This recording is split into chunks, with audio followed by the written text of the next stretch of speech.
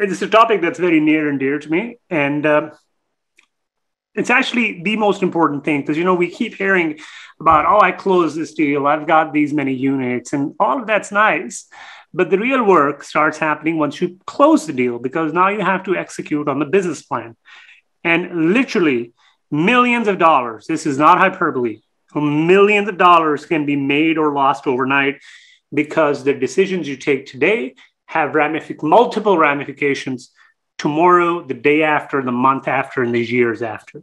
And eventually, the decisions we take today are, or the decisions we take every week, they have an effect when we're trying to sell the asset, whether, by the way, it's in a good market or a dodgy market, right? So, this is why this is very, very, very, very, very important. Okay. So, like just about anything else done at a high level, this presentation is about specializing in asset management, right? I could have offered coaching or courses or just purely try to raise equity.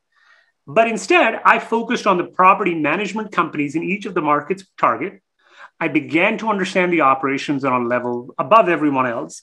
I'm going to peel back the curtain and show you how we operate our properties uh, on a daily, weekly, monthly basis. But one last thing before I get into this everybody and their grandma in this industry has basically the same ebook with the same tired slogans like, hey, don't worry about toilets, termites, and tenants.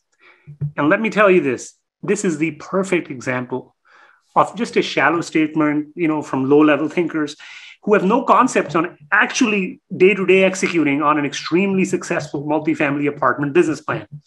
So, real quick, if you take away just one thing away from this talk today, right? You're going to banish the word tenant from your vocabulary. You're never going to use it again. In fact, from here on out, we are going to be talking about our residents, building a community of our happy residents who pay rent, rain or shine, 10 to 20% yearly raises in their rent, and during a worldwide pandemic, by the way.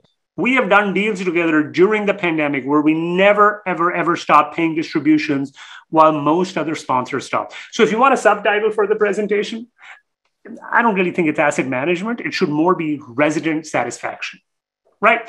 All right, so let's get started, right? You, you see me, that handsome guy right over there is Omar, me. I'm the speaker. I've advised on $3.7 billion in capital financing and M&A transactions on the institutional side. My portfolio is over $200 million right now in development and acquisitions spread out across Texas, Georgia, Florida, and South Dakota. And the reason why I'm highlighting all of this is that by the time I started syndicating, I had, it wasn't a career change for me. I was actually running portfolios, running deals on the institutional side for 10 plus years. So, uh, by the time I actually started, you know, formally working under my own company, there was a lot of trials, errors, tribulations, and experiences that had that had gone into actually building uh, the company that you see today and having all these great relationships that I had. This is just to give you an idea of our transaction history.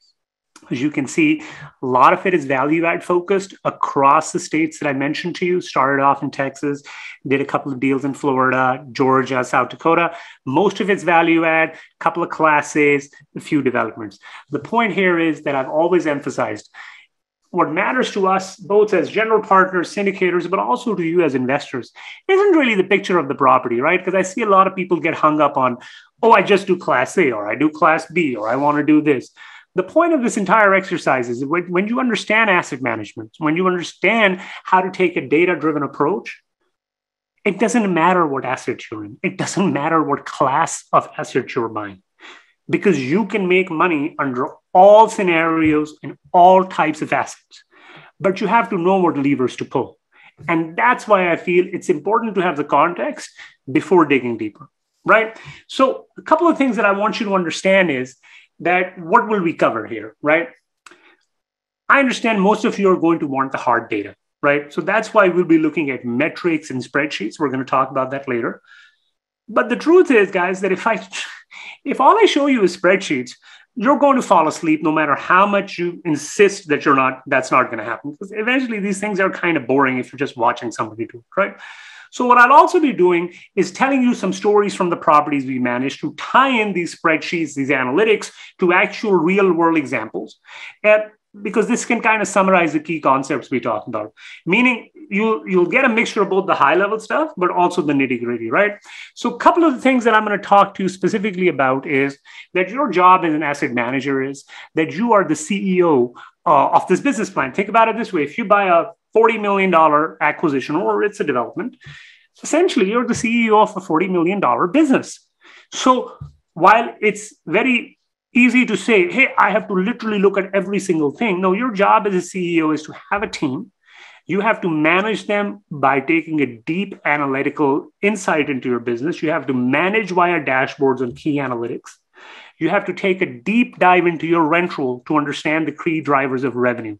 And the reason why I emphasize the rent roll as the key factor is because in my experience a lot of people instinctively just veer towards hey i'm just going to cut expenses. Because that's pretty easy to do right? I mean you were paying somebody $10000 last month. You say i'm going to rah rah rah i'm going to cut expenses and you're going to pay them $8000 and suddenly you can show on your books that you've saved $2000 the problem with that approach is that as we all know, you can't cut, you can't just cut your way to prosperity. Austerity does not always lead to prosperity, right? And there's only so many of these expenses you can cut because eventually you need to be spending some amount of money, right, to run any business, any property, any household, any entity for that matter, right? But with revenue, what you technically have is unlimited potential, right? With expenses, you kind of know how much you can cut eventually. But when you focus on the key drivers of revenue and driving that revenue growth, you basically you're in a blue ocean and you have unlimited potential. But all of that revenue, the drivers of that revenue, it can only make sense when you're actually providing some level of a renovation plan, right? Presumably, because not a lot of people are going to pay you the renovated unit rents if they don't get an additional benefit. So you will have to be managing a complex renovation program to ensure that your budgets are adhered to. And then there's a couple of steps in between, that we're going to go into it later. But then when you take these drivers of revenue, you manage your complex renovation plan, a couple of steps we're going to talk about, then those key items are reflected in your P&L. And if you've done all the work that we're going to talk about today, your P&L is basically a byproduct to showcase the maximum productivity you're going to have. Got it? So this is just basically, you know, a big primer on what our asset management playbook is. Of course, uh, you know, we can't cover every single thing about operations in one presentation. So on this screen, you're going to see how we present our overall asset management framework to our investors. You know, some of the stuff, like I said on the last slide, we'll go over today. Uh, other stuff like being aggressive about paying uh, the least amount of property taxes, reducing expenses. You know, this is common sense uh, that you're likely going to get at first glance. So I'm just showing you the slide for the sake of completeness, right? Just for you to get an idea. Uh, these are my top five rules. I really had to think about this because I, I say this to my team all the time, uh, but I, sometimes I use more colorful language and we got to keep this uh, PG, right? So it took me a little while to crystallize these. So as we approach the drier topics, what I'd like you to do is keep in mind that this is a set of five rules uh, that have sort of crystallized over the years to keep everyone rowing in the same direction. Because as I mentioned to you, if you buy a $40 million property, essentially running a $40 million business, guys. There's not a lot of people that are running $40 million business, not just in America, but in the world, period. So when you have a team, you need to make sure they're all rowing in the same direction and they've all agreed uh, on the top priorities, right? So, number one, stellar reputation and strong relationships. Uh, you could say, oh, yeah, well, this kind of makes sense, but you would be very surprised that this is not just stellar reputation of you or your group to the outside world, which is brokers and other uh, buy, uh, others owners of properties in the markets that you're in. This is also a reputation internally. How do you lead and manage your teams? How do you develop relationships with your team? Are you consistent in what you're saying or not? Because trust me, your employees are noticing you all the time, the same way as outside people, external people are noticing. And what I've noticed typically is that a lot of times, you know, people really present their best face, best, uh, you know, face to brokers, buyers, sellers, but internally their teams are in a disarray. So I always like to insist that having a very stellar reputation and developing strong relationships internally and externally is very important. And a lot of folks just focus on the external, not the internal right? Secondly, the on site team or the on site teamwork makes dream work. And now this might be a pithy point, but the point here is, guys, you are the CEO, but the CEO is only as good as the team the CEO has compiled and how that CEO manages and motivates that team. Again, a lot of times what I'm seeing is people tend to view people in their teams, especially property managers, leasing agents, maintenance supervisors or techs, or even regionals in the property management firm as somewhat expendable. Because you know, a lot of these people aren't necessarily making, you know, the two, three, four, five hundred thousand dollars. And people assume, hey, if this person doesn't work, I'm just going to get a new person. And I'm going to tell you that's going to create a lot of disruption. So you have to be very careful in not just the way what people you have on your property representing to you, because at the end of the day, they do represent you in front of your uh, you know residents. But you also have to have an internal mechanism to motivate them whether it's through bonuses whether it's through verbal acknowledgement you know writing somebody a note from time to time. You would be so surprised at how small thoughtful gestures how far they can take you not just in life but especially with your team. I mean i've known a few people that i've been able to poach from other people purely because the other person there mantra was well i'm paying you so just go do my work and shut up essentially. And while you might think okay well i'm never going to do it there's a lot of employers out there that do because they think this person makes 45 55 60000 dollars a year. Why do i got to do it? Guys i'm going to tell you this right now. If your on-site property manager and your leasing agent is not a rock star literally a rock star and not just in terms of them doing the work. They they don't have a pleasant demeanor. They don't they they don't perform under pressure. They're not creative. No directive that you give and no matter how analytical or data driven you are it is ever going to have any effect. Because if your on-site team is not a plus plus nothing is going to happen right? Third know your rent roll inside out. As i said this earlier a lot of people focus on the expense side of the equation because it's very easy to do. It's instinctive, right? Hey, I cut $2,000. Great. A lot of people don't really, first of all, focus on the revenue side. And then they don't necessarily really take a deep dive into the rent roll, which I'm going to show you, because well, first of all, a lot of people don't take a deep dive period. People are lazy. But the other deal is when you start seeing it in your rent roll, you see not just, hey, what is the summary right now? What does my trend look the next three, six, seven months? How have I performed in the past? That provides you a lot of basically actual actionable data, not just on what you are going to do, what you think you're going to do, but what has happened in the past. Because think about it this way if your actual basically on-site team member says you, you give a directive we're going to take all of our leases to market as an example right a market rent right, to burn the lost lease. You give that directive. Your on site team is under pressure because they've not been empowered to make the right decision. They might be leasing a lot of these uh, units at market rent, but then you might have a bad debt issue. Or conversely, because you've not given clear directives and you've only had this very binary sort of directive, they might be waiting for this one person to come along who's going to pay them this mythical market rent. And your unit could be vacant for a month, two months, three months. I've seen this happen, right?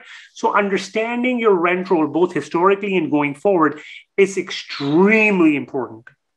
Point four, you've got to manage your capex like your hair is on fire. And I don't say this to basically be dramatic. I say this because at the end of the day, you can manage your rent roll, but if you're not providing value, you're not renovating your units, you're not literally digging down to comparing your budgets, comparing what renovation plan do you have, what is the ROI that you've had on your budget, how long were your units sitting vacant, till you don't have all of this data, right? You're going to be playing catch up all the time because your com- competition has this data. I mean, and by the way, all of this data is internal.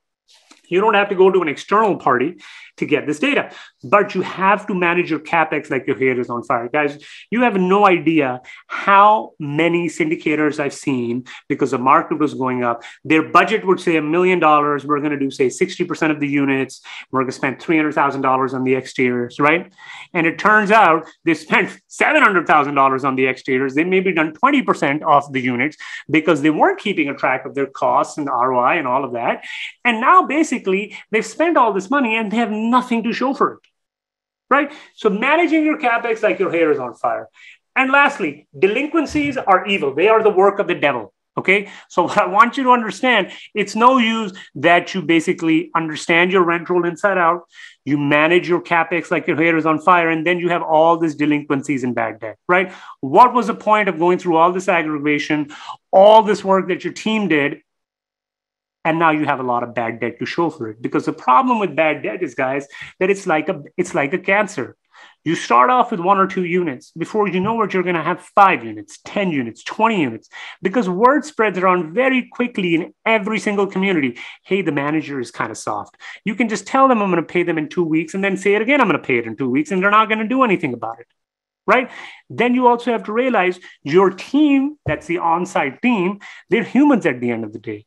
If all the residents that show up there to them either have an excuse or they grind them down of the time then say by the time 3 or 4 or 5 p.m rolls in and somebody comes in they're just going to be tired right? They won't be able to put their best foot forward and represent you in the way that you should be represented. So top 5 rules stellar reputation and strong relationships the on-site teamwork makes the dream work know your rent roll inside out i cannot emphasize this enough manage your capex like your hair is on fire, and delinquencies, delinquencies are the work of the devil. Okay. Now, what you've got to realize is, guys, we're going to start taking a very deep dive into all of these factors. But what I want you to know is understand that if you don't follow these five rules, you're going to have a lot of problems. Okay. So just whether you want to write it down, you want to take a screenshot, take this, Remember this. This is what makes the drives the bulk of the returns in value add multi family. We're going to get into the dashboards in a second. Guys, just a couple of big dashboard principles you're going to see on uh, the slide. Look, what I'm going to show you now is I'm going to show you at a high level my dashboards and how I operate. But you've got to realize, guys, you've got to do the work for yourself. So there is no real estate certification or school or course, I guess, for this type of stuff.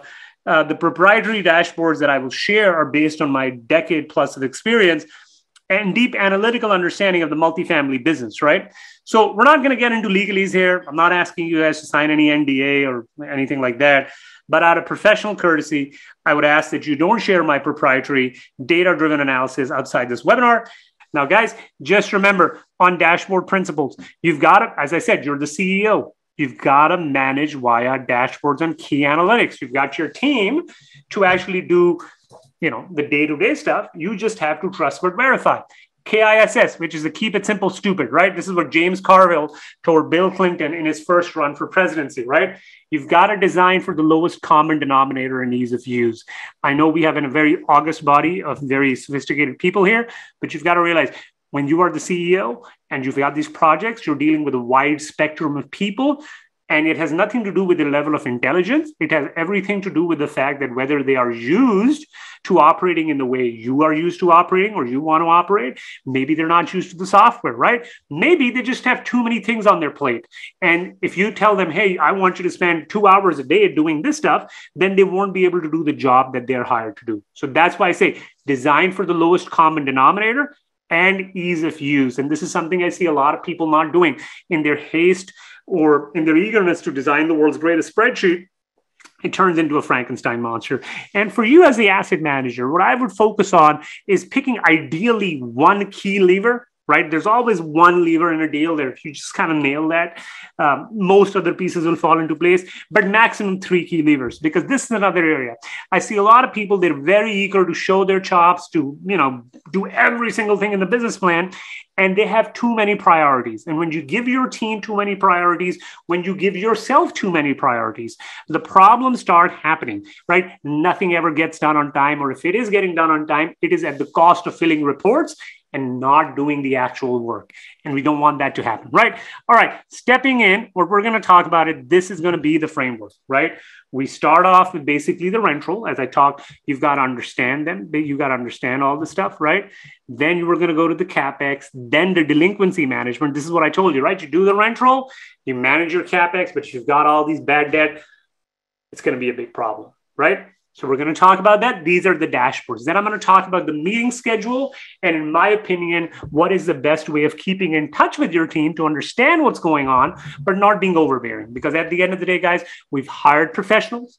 We want them to do the job. We want them to do a stellar job. So if they're spending all their time working for us or answering our emails, they can do the job, right? Now, what I'm going to be sharing with you are dashboards from actual properties that are operating right now. So that'll give you an idea, right? All right, stepping in. This is the rent roll analysis. So number one, this is for an actual property. This is called Pines Lanier rent roll. So PL is Pines of. This is an actual property. I have we closed it in, gosh, I think it was like February 15th or 19th or 16th of this year, sometime like that. So that's why you see it starts in February and it goes all the way to 615, which was a couple of days ago. I try to do this every two weeks. I have my analysts do this, right?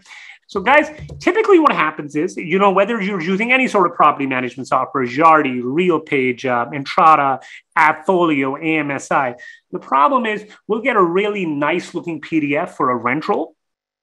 But when you convert it into Excel, the formatting is all off, right? So it's very hard for you to actually run any sort of analytics. So, number one, what you have to do is you've got to take the rent roll and you have to convert it into this, it's called a tabular format, right? This is what spreadsheets if you have it in this format in a spreadsheet, what starts happening is that then you are able to write formulas. And I'm going to get into that. But what, what I wanted to explain was it's very important to lay out your data correctly. This is spreadsheet management 101, right?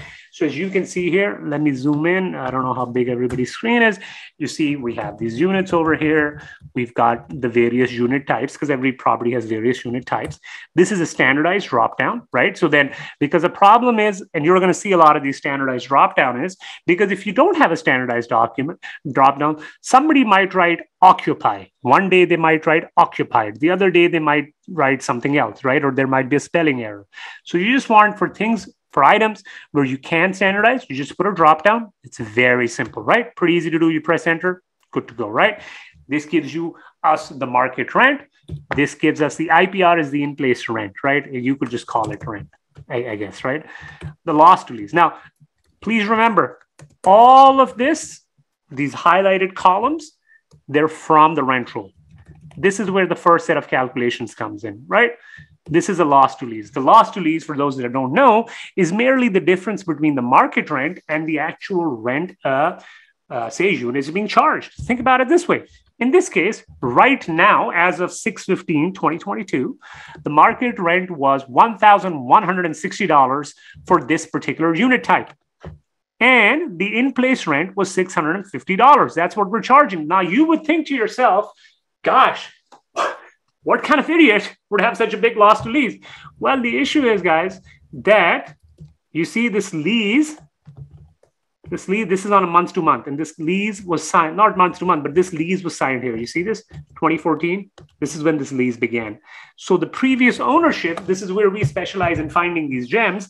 The previous ownership just hadn't pushed rents. And that's great news for us, right? Because now when this lease expires, we can actually push the rents here, right? So this kind of gives you an idea, right? You see this all the way. For each unit number, each unit type, we have the status. Then we have what is the market rent, what is the in-place rent or the actual rent being charged. This gives us an idea of the, what the loss to lease is. And this is a very important concept. And the reason why, for instance, this is conditionally formatted, I haven't gone and done this. So as an example, what you can do with conditional formatting for those that don't know Eh, this is available in uh, Excel as well. But if you're using Google Sheets, and I'll tell you why I use Google Sheets, right? If you highlight this, you go to Format, uh, Format, you go to Conditional Formatting. You can apply various types of color scales if you like, or individual colors. Now, in this case, why I have chosen this color scale is because uh, the worse the number. You see, the lower, the more the negative a number is. So 606 loss to lease is worse than 300 loss to lease. This means that we have a lot more room to capture here, right? So this is worse. This is not a good thing for us. I mean, it's an opportunity, but right now it's worse, right? So that's why I wanted to tell you why this is. Now, these particular charges, water, trash, CAM is a community uh, access fee, month to month, if somebody's month to month, like for instance, this unit is, pest, pet rent, concessions, employee, um, you know, if somebody's just employee rooms, right? These are all taken directly from the rent roll. Similar, by the way, to how the market rent and the rent, the in place rent is taken. Now, why do you want these there? Because one part of running your operations is, uh, or water in this case also, one part of you running your operations is pushing up the rent, right? But a good asset manager has to focus on revenues from multiple angles. This is why I said it's very important to understand the revenue aspect of the game, right? Because rent is one aspect, but when you start adding all of these fees, right, you see things start adding up. So if you look at it, if I just sum up all of this, I am just getting an additional $9,605 a month just by adding all of these fees. And you would think, well, 9,000, I don't know if that's not a lot of money, but you see, you go 9,000, 10,000, 20,000, these things start ramping up and adding up, right? So just wanted to explain to you these items come from the rent roll. Basically, you're going to get from the property management software.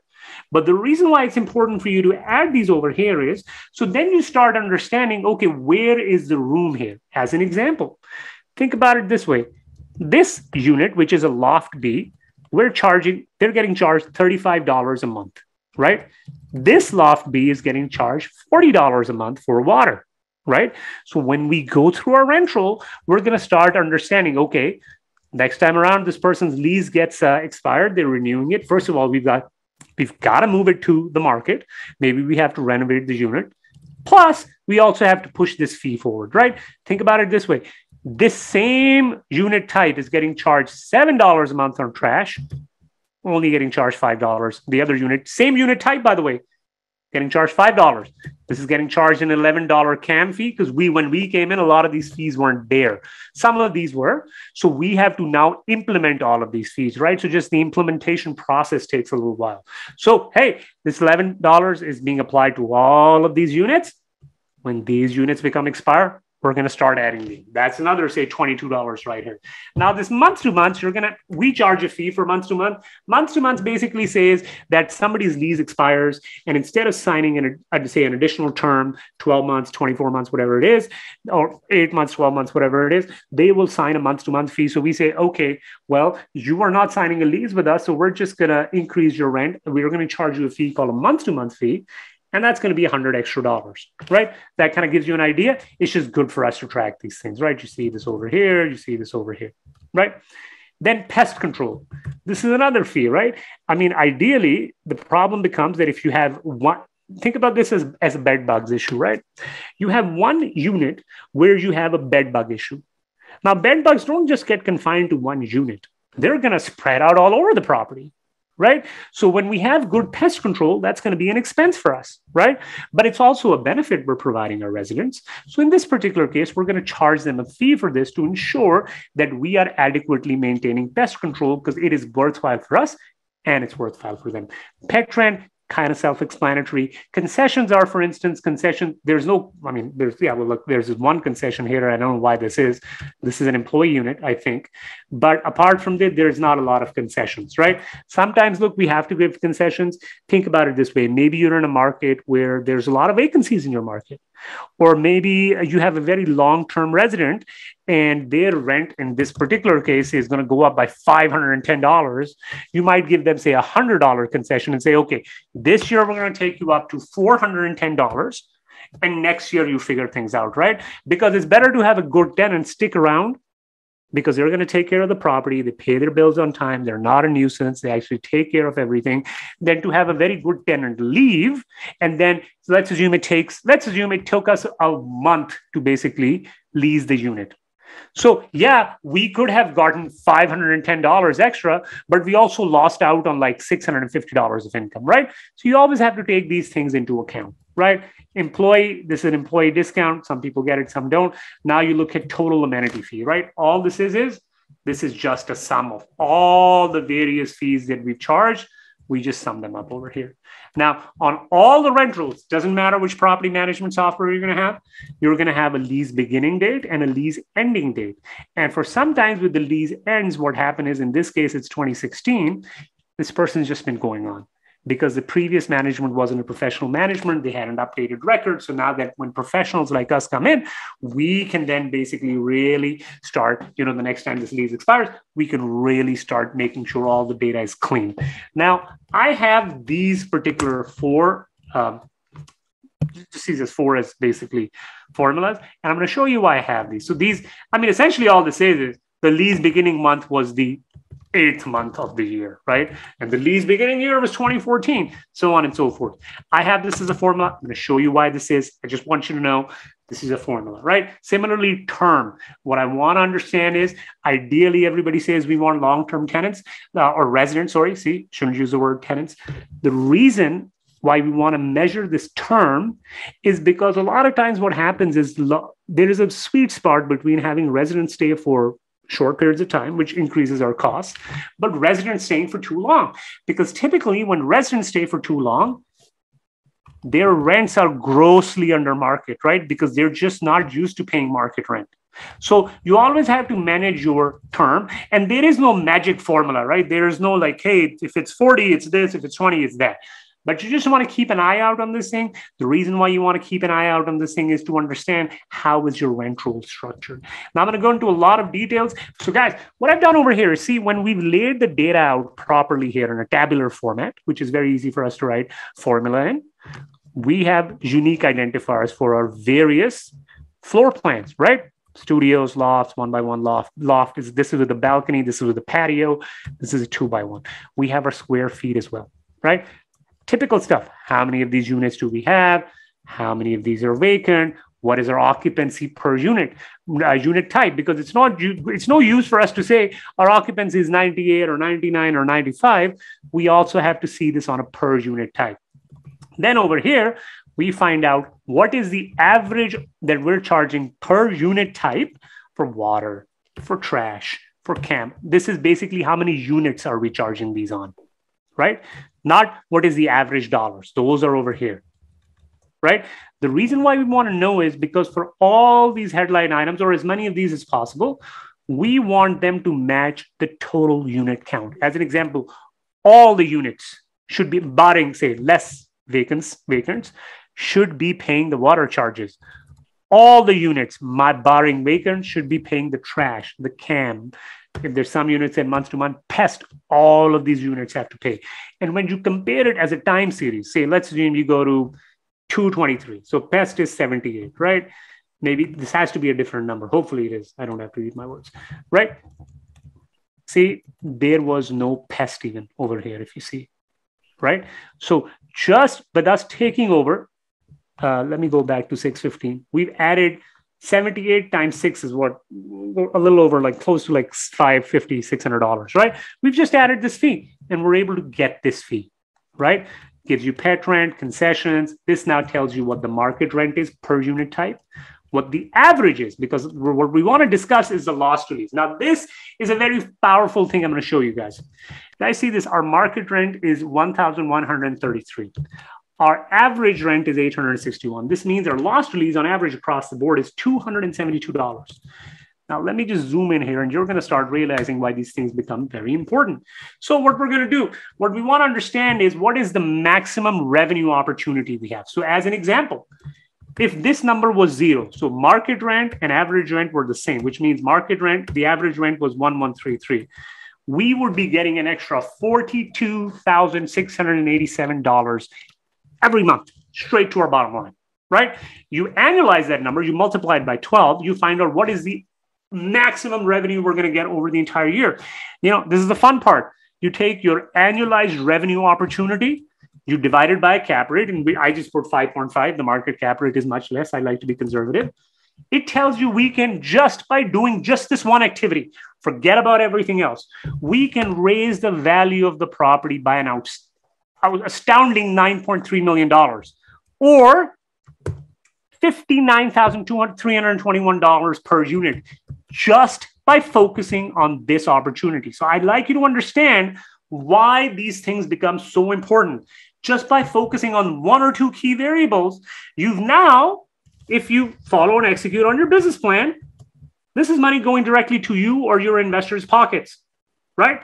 The other some of the stats, and then I'm going to go down into the real nice, juicy part, is I just want to see we took over in 2022. How is our team performing on the leases we signed versus last year when we weren't around, right? You can see there's a noticeable difference, right? Then you see, you know, various stats 2022 versus average, 2021 versus average. What are we looking at here? And then the term part here, right? The term is 46 months over here. If I go right at the start of where I was, right, it was 48. So I'm slowly, slowly, slowly bringing the term down. Now, like I said, guys, there is no magic pill here. There is no, hey, 20 is good and 40 is bad. But what you've got to realize is when you're going through this process, you're aggressively pushing up rents, aggressively renovating, your term is going to go down because a lot of people are going to be disgruntled. They might not like it. But when you are providing a quality product to the market, there are going to be other people lining up to take your product. So it's very, very, very important. Once again, I want to emphasize this to focus on this little line item over here. Because suddenly, if you tell your teams with the right product, right approach, a very short period of time, we can raise our valuation by $9.3 million or $59,321 per unit. That's massive when you consider that we got this property for, I think, $113,000 a unit. That's massive, right? Now, this is where I think the real interesting part comes out. And this is where I think, oh, nope. Uh, this is where, you know, how I explained to you that we take our lease beginning and lease end, you know, over here, and we see we just put it down as a month, year, month, year for lease beginning and lease end, right? This is where this really translates into the opportunity. Now, over here, you realize the maximum opportunity we have is $42,687.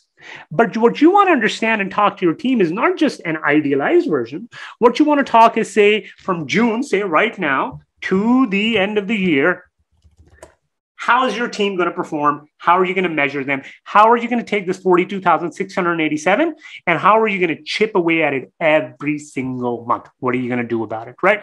We're going to talk about this in a second. This is what I want you to understand. When you lay your data out correctly, when you have insights, what you can now understand is by going by lease expiry date, right? You can understand, hey, the average loss to lease that I have per unit type, because this unit type is very important for each month, you know, into the future, right? Is this 412 and the you know the more negative it is the worse it is. Well how many of leases are expiring? Because that's very important right? And the reason why it's important to understand this is because now you understand what your opportunity is because all you did is take this minus 412 you multiplied it by three to know that if I took all of the loft units that are coming, I push them to market, I can get $1,235 just by doing that thing, right? So now what you can start seeing is this is called a climb in financial terminology, right? How am I slowly chipping away? What is my climb? The maximum climb that I have in June is 2,530. July, we've got a lot of leases expiring, right? Say 16 leases. We don't want the, and the reason why over here this is color coded as red is because suddenly there's a lot of leases expiring. So the other reason what we want to do is manage our rent roll. We don't want to put our property managers under so much stress that in one or two months they have the bulk of our revenue coming in, right? Because that puts stress on them, but it's a business risk for us, right? But you can see the previous guy didn't manage his rent roll effectively. So we now see that, hey, July, we've got 5,420. So if we just stood in June and we just summed up all of our opportunity from June to December, we can have at least 20,000. Some say it's 20,185. 20,185 off this $42,000 opportunity, we can just capitalize on between now and December. So do you understand why this becomes very important because you have to have both an idealized target, but you want to have a tactical plan on a week by week, month by month basis. What is that plan? How are you doing it? And how are you going to chip away at a per unit floor plan level? Right now, if you want to go per unit, let's assume you wanted to go to DO3 for that matter. You also have that plan over here, right? Just want to tell you why this is important. You have the granular data where you can go unit by unit, but then as a manager, you also have a unit floor plan type of data that you can look at, right? Now, this also tells you a lease expiry schedule that we talked about. This tells you the lease expiry schedule by the previous months. Now, the reason for this is some of these leases were signed before we took over. So from here, even though we took over in February, renewals were done all the way till here, right? But from April onwards, we have aggressively raised rent. So even though we bought unit, we bought, we signed leases at the market rent in April, we still pushed their rents, in this case, 145, 120, 170 $120 right or $70 in this case so you can see even compared to the last few months how aggressively we've been pushing our rents this just gives me as a manager very very very good intel and data it also tells me how many leases did we actually sign in those last few months right kind of helps me understand and formulate a plan both looking forward but trying assessing the team looking backwards so i can see it in a 360 degree view right? So this is managing your rent roll. Now, all of this is very good. But how are you going to get this extra rent? You're going to ask me, well, well, this is all pretty cool. The other guy might not have been very intelligent, but hey, how are you going to be intelligent and capitalize on this $272 opportunity? And this is where managing just managing your capex like your hair on fires becomes very important. Now, this is a different property, Brighton Farms. This is Pines of Lanier. This is Brighton Farms. As I told you, I'm going to show you actual data from my various properties, right? So we're going to start here at the top. I'm going to give you a quick rundown, and then we're going to talk about various specific topics, right? Again, you have specific unit numbers because you want to know that. The reason why I have a link to invoices over here as an example, I'm going to show you this. This is going to my actual Google Drive. All right. You see this asset Brighton Farms, da, da, da, da, going to this unit type, right? Because anytime I spend any money, I want to have the invoice with me. I want to be, and I'm going to show you where we put it. I want to be able to go and compare actual costs that go into, say, renovating the uh, unit versus my budget and to see how am I performing. Because it's no good if a manager tells me, hey, we're under budget. Great. How much are we under budget? Where are we under budget on? Where are we over budget? How much did we spend? These are the questions you have to ask. Now, the reason why I have this checkbox over here, it's called the audit status. The reason why this is because one person, it's like auditing 101 one. Person has to do the work another person has to check the work right? So we want to make sure that say if one of my analysts or property managers is doing the invoices another person is checking it. Whenever they check it off this means they are done. Two people have independently done the work they've checked and if it doesn't match then they've got to go fix this problem right? Again we talked about having standardized drop downs right? So for instance if we go here on the rent roll it was just occupied vacant Pretty simple thing. Here, I have a rent roll for each unit floor plan type. Again, the reason for this is if we don't standardize these items, somebody could write, say, two by one, but not put a space between SR and one, right? You don't want that to happen, right? Just wanted to give you an idea why drop downs exist. We obviously want to know what are the square feet of the each floor plan, right? Then we have a whole bunch of various renovation packages that we're going to implement. In our particular case, the reason why we've chosen predominantly the premium, uh, you know, plan for us is because on this property, Brighton Farms, we were able to push rents $600 in like about a year.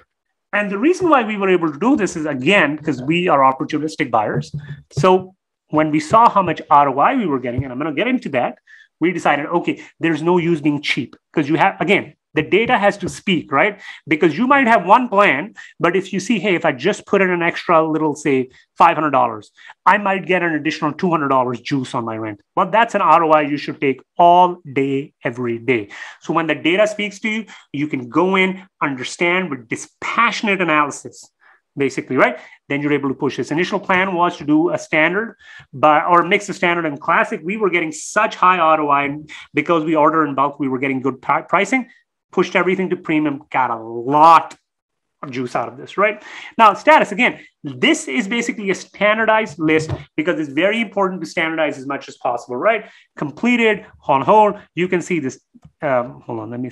Uh, yeah, no, it's not going to change right here, but it just shows you that I have a standardized list. And as people complete various tasks, as you can see, there's going to be a bunch of them. Hold on, let me go here. Oh, I know why this is. Hold on, data, let's remove filter. You see, I've got a whole bunch of these various unit types that are color coded differently before because I have all of these. Therefore, I'm able to see all of this stuff. That kind of makes sense, right? Now, what we're going to do is I'm going to convert this to completed because that's going to show you uh, the correct picture actually. uh, but there's a lot more depth to this. Now, this is something that I always emphasize to my team. Uh, this is obviously an area of improvement for us. We have been getting better at it every month. So this is something that we this is an obvious area of improvement but i do we, we do track this so the reason why this is important is think about the life cycle when somebody say says okay my lease is expiring i'm kind of done think about that life cycle from the day they move out to the day you lease back that unit. So there's a couple of steps there, right? Assuming you want to renovate the unit, somebody moves out, then you have a renovation start date you have a renovation end date, and then you have a lease start date, the new lease start date. And ideally, you want to compress this time as much as possible because even though you might get more rent, you're also losing out on rent the longer this property or this unit rather stays vacant, right? This is a big area. We've actually had to learn, we've had to pivot because of COVID, lots of reasons. Just want to tell you why this is important and why this is an area that we're diligently improving on, right? Now, over here, as you can see, I just track the various days. Now, this is unacceptable, this 38 day time frame, but we were getting a lot of juice. And again, we're getting better at it. But what I want to show you here is you're going to understand budgeted versus actual cost. Now, our budget is one thing, our actual cost is something else. And you're going to realize, guys, there's going to green is good and red is bad, obviously. You're not going to win every single battle. Okay, it's just not going to happen right? In this unit, I remember the tenant basically, this was like a war zone. So we just had to go, even though our budget said 79.15, we just had to go spend a lot of money on this, right? So I'm showing you the good and the bad. But the, the issue here is that you have to basically look at it dispassionately. You're not going to win every single battle. So here we saved $49,000. Now we're going to lose $7,200 compared to our budget, right? So kind of help, it really helps you to understand actual costs versus budgeted costs, and then whether hey you're up or down on your costs. Then this is a real meat and potatoes, guys. What is your before reno rent or before renovation rent? And what rent did you get after you renovate? And by the way, again, you're not going to win every single battle, right? You see this red over here? Not going to win every single battle, right? But you have to see on average, how are you performing? On pure dollars, how much rent bump did I get per month, but also as an ROI. Hey, what is my return on investment for doing all of this thing, right? So we go as high as 287, but we've also, quote unquote, for this particular one, lost 21% ROI, right? It was a lost opportunity because our rent actually went down. But you see, on the whole, the greens are more than the reds. And as a manager, you've got to focus on ensuring that your ship is heading in the right direction not going to win every single battle, right? So it's very, very, very important to have all of these details because it's no you good, no use saying, "Hey, I bumped my rents up by $130." As an example, if you ended up spending twenty thousand dollars, look at this. If you ended up spending twenty thousand dollars on this because now your ROI has gone to eight percent, right? Got to keep these things in mind. And then, as I mentioned, you manage your rent roll, you manage your renovation process, but now you've leased all these units and bad stuff starts happening. Bad debt starts accumulating. What do you do? Now, what you do over here is you start tracking this on a day by day by day basis for this one property, right? So you can see this not just say on the end of the month, how much bad debt did I have, but on a monthly, on a daily basis, how much did I have? Because now you can start tracking. Let's assume you get to the middle of the month, right? You can see, hey, how did I perform compared to last few months? Right? You need to have this data when you're having this meeting with your managers because it's no use if they say they've leased up the property, but now your bad debt doesn't really help you, right? So you've got to track this on a daily basis across all months, right? And again, we've got these tutorial videos in case somebody wants to see them. Not going to bore you with details, but this just tells you what we're looking at. And these line graphs kind of give us an idea of how my various months are performing, right? Now you've understood the rent roll, You've understood the capex. You've understood why and how on a daily basis we track our bad debt. Now your P&L comes into play, right? So you've got this really cool, fancy budget. I'm going to go over here, right? The budgeted P&L you've agreed to with your property manager, right? Now actual numbers have to start coming in, right?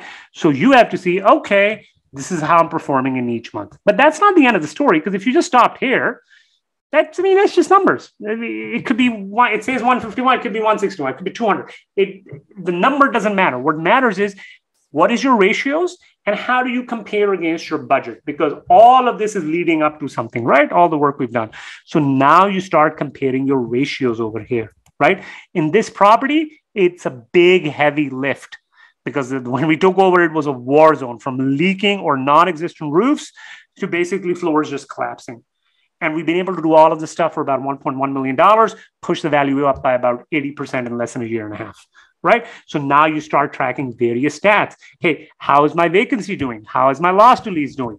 How is my bad debt doing? How are we operating on an OPEX basis?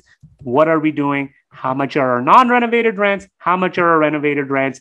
And there's a whole bunch of these details. But the reason why you need to have this much amount of the granularity, guys, is because all of the stuff we discussed earlier, they actually translate into all of these individual line items that you see here. But the biggest thing you're going to see is you're going to have a variance. Because what you want to eventually, at the end of the day, do is have a target, which is your budget. And now your actual numbers are where the rubber meets the road, right? So, how are you going to compare? So, you could see, for instance, hey, my gross potential rent in this case compared to budget i was down by 1160 now if you just looked at the headline number you might freak out and be like wow so we're not doing really good right? But now you start comparing. Okay your vacancy you're doing much better on vacancy. On your bad debt you're doing much better. So net net on just total rental revenue you're up by $3268 for the month of may but you were down 11405 for the month of april right how are we doing on other income? Are we consistently pushing? There's going to be lumpiness in this, but you want to look at it actuals versus budget, right? How do we do on our operating expenses? And lastly, how do we compare on our net operating income? Because that's what really matters at the end of the day. So even though you could see there's a lot of volatility, negatives and positives, at the end of the day, we are still up, gosh, what is it, 252,000, even though we had this one negative month versus budget, not in absolute, just in versus budget. We are still up for the year. We're up 124,106, right? So I got to change this to maybe go to two, right? 124,106. So you can see with all this volatility, all of the stuff that we're managing, this is now translating into your profit and loss, now translating into your net operating income. And this is basically what happens. But what you've got to realize is we have all of this stuff, we discuss all of this stuff, but as some of our investors know, you know, if you're on our list, you're on our mobile app, we get a lot of property updates because numbers are one thing, but pictures, videos, these things are very important. So I want to relay to you an example of how all of the stuff that we've done, how it actually translates into real life by having the right team. You know, I was checking up on the progress of a property. In fact, it was it was the equinox at night, the picture, the beautiful property that we pictured over here. I was checking up on the property as I usually do. I come, I go there unannounced. I don't tell the team that I'm showing up. And I was filming some of the renovations. I was interviewing our property managers. Uh, we just want to be present and hands-on, right? And your staff needs to know that as well, right? And but we also want to be transparent with our investors. So, anyways, I was at the property. This lady, this old lady, keeps wanting to be in the videos because I'm big on like recording videos because I think it's just way, way, way easier, right?